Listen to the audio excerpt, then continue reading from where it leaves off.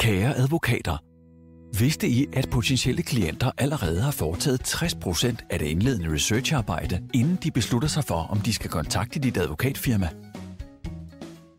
Digital købsadfærd har gennem de senere år ændret sig markant og gjort marketing og branding til en mere kompliceret proces. Hvis jeres digitale identitet og tilstedeværelse på nettet ikke er attraktiv, bliver jeres advokatfirma lynhurtigt valgt fra. Den udvikling betyder, at dit advokatfirma skal skabe troværdighed og tryghed hos den potentielle klient det helt rigtige sted, på det helt rigtige tidspunkt og på den helt rigtige måde. Ellers løber jeres konkurrenter med klienterne. De konkurrenter, der har forstået effekten af digital kommunikation og digital markedsføring. Et vigtigt element er en professionel hjemmeside, der skaber troværdighed omkring jer og jeres kompetencer. En flot hjemmeside er imidlertid ikke nok, for hvordan skiller den sig ud fra jeres konkurrenters hjemmesider? Der skal også relevant trafik til hjemmesiden. Trafik fra besøgende, der reelt set har en interesse i jeres ydelser.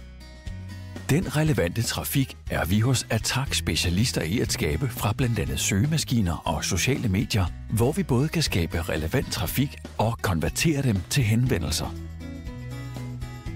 Attack har over 10 års erfaring med marketing for advokatfirmaer. De fleste advokater har store ambitioner og er enormt kompetente, når det kommer til faglighed.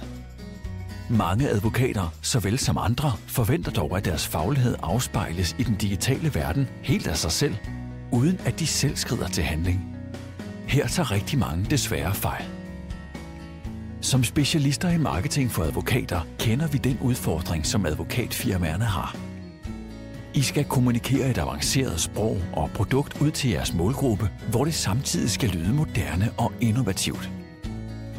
Jeres potentielle klienter søger på Google og befinder sig blandt andet på Facebook og LinkedIn. Vi har analyseret deres købsadfærd, og vi ved, hvordan I kan konvertere dem til klienter. Det kræver bare, at I tager skridtet. Er jeres digitale tilstedeværelse og synlighed stærk nok, eller er det måske tid til at tænke ud af boksen og være frontløber i jeres branche?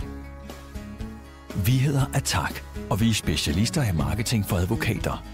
Vi ved, at vi kan gøre en forskel for jer.